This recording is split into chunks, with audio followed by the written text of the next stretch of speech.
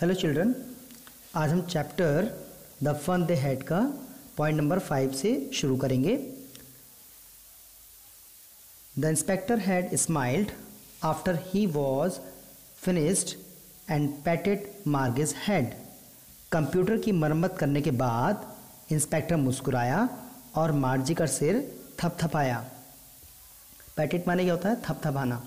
He said to her mother उसने उस बच्चे की माँ से कहा it is not the little girl's fault इसमें इस बच्चे की कोई गलती नहीं है, कोई दोष नहीं है। Mrs John I think the geography sector was geared a little too quick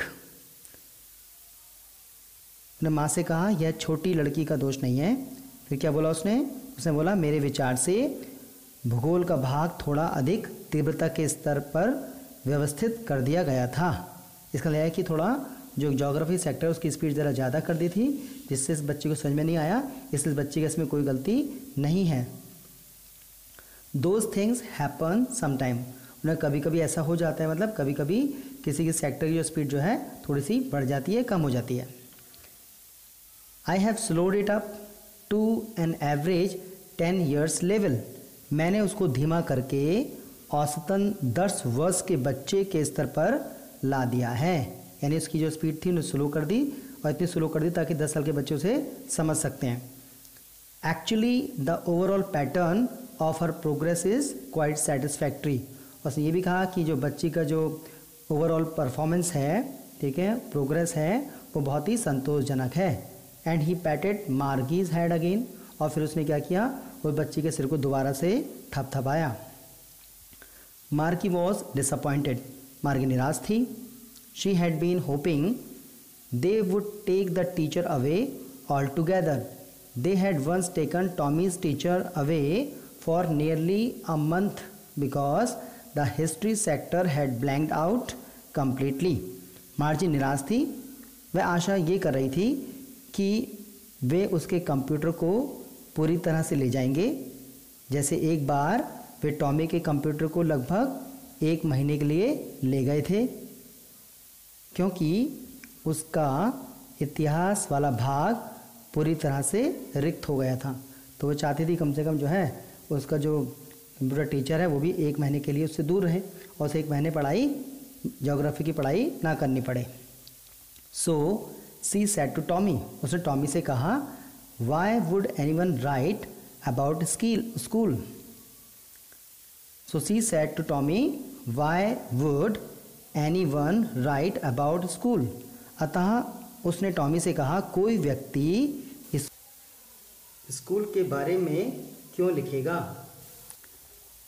Tommy looked at her with very superior eyes because it is not our kind of school stupid this is the old kind of school that they had hundreds and hundreds of years ago, he added loftily, pronouncing the word carefully, centuries ago.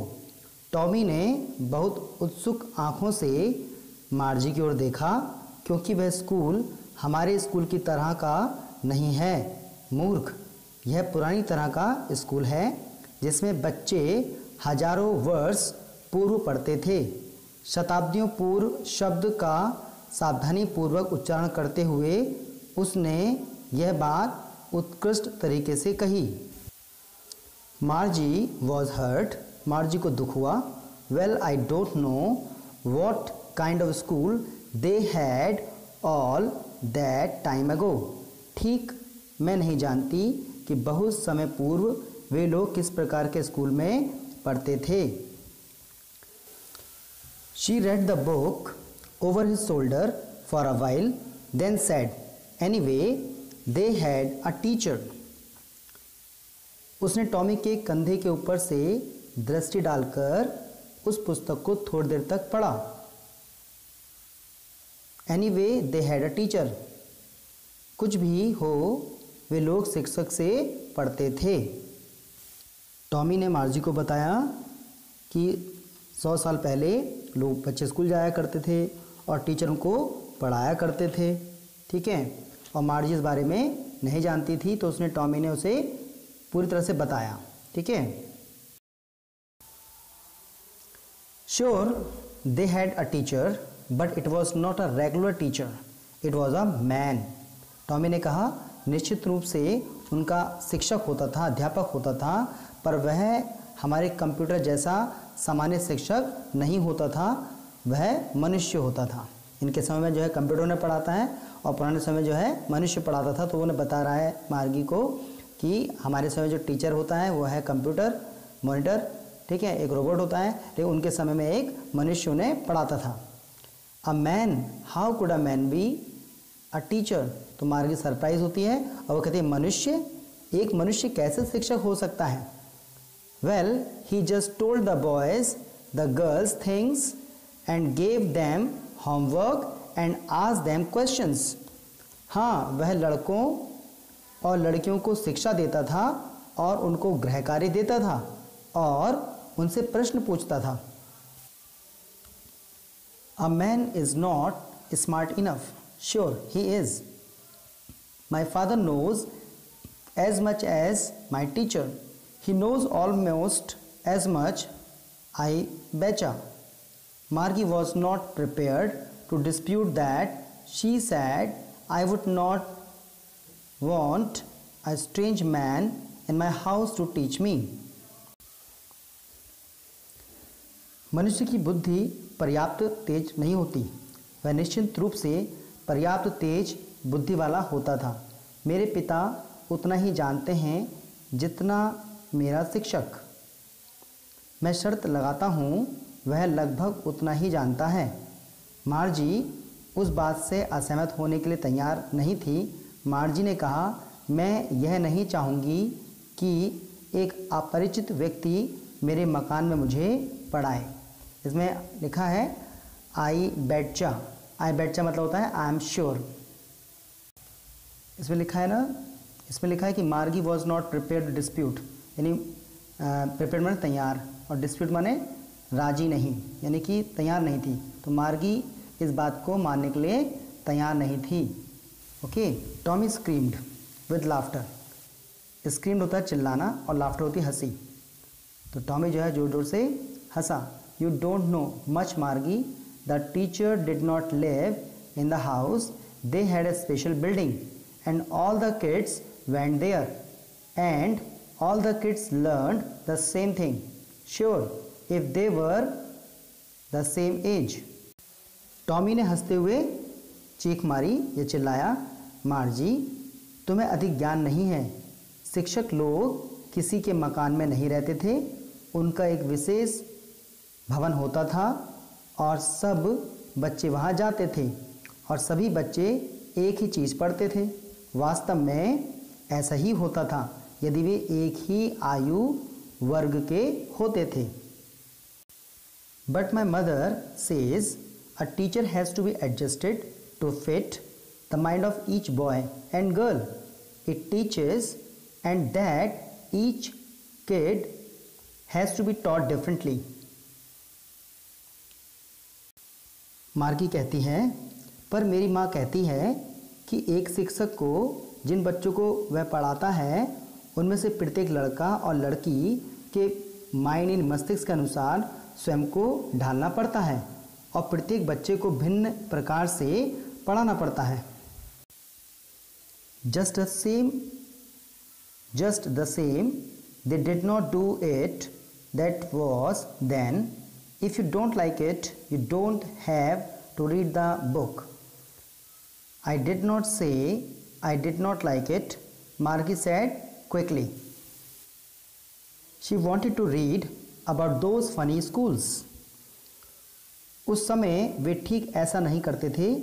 यदि उन्हें यह पसंद नहीं है तो तुम्हें इस पुस्तक को पढ़ने की आवश्यकता नहीं है। मार्जी ने तुरंत कहा, मैंने यह तो नहीं कहा कि मैं इसे पसंद नहीं करती। वह उन मनोरंजन, उन मनोरंजक स्कूलों के बारे में पढ़ना चाहती थी। यानी मार्गी ने बोला कि मैं ये नहीं कह रही कि हमें स्कूल में नहीं पढ़ना चाहिए। उसने कहा, ये स्कूल तो काफ़ी मनोरंजक होते हैं। They were not even half finished when Margie's mother called Margie school Margie looked up. Not yet, Mama. Now said Mrs. Jones, and it's probably time for Tommy too. Margie said to Tommy, Can I read the book some more with you after school? उन्होंने आधी पुस्तक भी नहीं पढ़ी थी कि मार्जी की माँ ने उसको पुकारा। मार्जी स्कूल। मार्जी स्कूल कहकर उसे पुकारा। मार्जी ने ऊपर घड़ी की ओर देखा। अभी नहीं माँ। श्रीमती जॉन्स ने कहा, उसकी माँ ने कहा, अब और शायद टॉमी के स्कूल का भी समय हो गया है। मार्जी ने टॉमी से कहा, क्या स्कूल के बाद मैं तुम्हारे साथ इस पुस्तक को आगे पढ़ सकती हूँ? यानी मार्गी को मार्जी को यह पुस्तक अच्छी लगी तो उसने टॉमी से कहा कि मैं क्या इस पुस्तक को तुम्हारे साथ आगे भी पढ़ सकती हूँ may be he said nonchalantly he walked away whistling the dusty old book tucked beneath his arm Margie went into the classroom. It was right next to her bedroom, and the mechanical teacher was on and waiting for her. It was always on at the same time every day, except Saturday and Sunday. Nonchalantly होता है carelessly में लापरवाही से। और tugged होता है किसी चीज़ को दबाना। उसने लापरवाही से, उसने लापरवाही से कहा, हो सकता है वह धूल भरी पुरानी पुस्तक को अपनी बगल में दबा दबाकर, अपनी बगल में दबाकर सीटी बजाता हुआ चला गया। मार्जी स्कूल कक्षा में गई। वह उसके बेडरूम के एकदम पास था और कंप्यूटर उस समय सक्रिय था मतलब एक्टिव था काम कर रहा था और मार्जी की प्रतीक्षा कर रहा था। वह शनिवार और रविवार को छोड़कर अन्य सभी दिनों में उसी समय सक्रिय हो जाता था। Because her mother said little girls learn better if they learn at regular hours क्योंकि मार्जी की माँ कहती थी कि यदि वे नियमित समय पर अध्ययन करें तो छोटी लड़कियाँ अधिक अच्छा सीखती हैं the screen was lit up and it said today's arithmetic lesson is on the addition of proper fractions. Please insert yesterday's homework in the proper slot. Screen प्रदर्शित हुई और उस पर लिखा था, उस पर लिखा था, आज का अंकगणित का पाठ सरल, भिन्नों को जोड़ने का है। कृपया कल का गृह कार्य उचित दराज में डालिए। Margie did so with a sigh. She was thinking about the old schools. They had, when her grandfather's grandfather was a little boy.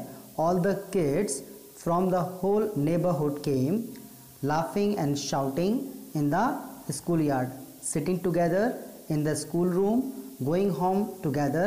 At the end of the day, they learned the same thing so they could help one another with the homework and talk about it.